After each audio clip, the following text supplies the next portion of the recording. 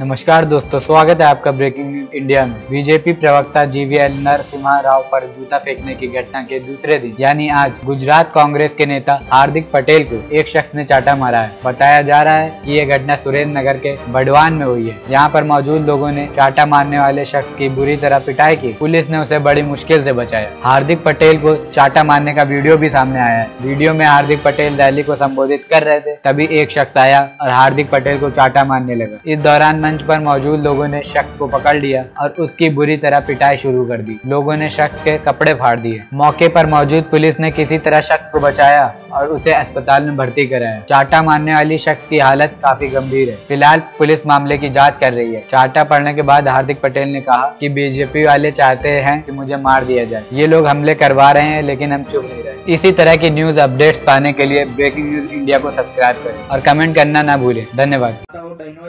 હૃદયથી આશીર્વાદ આપ્યા છે જ્યાં જરૂર પડે ત્યાં થારી વિલનથી એ લોકો આંદોલન પણ કર્યા છે. તમે બધા જાણો છો કે ચૂંટણી ખૂબ નજીક છે.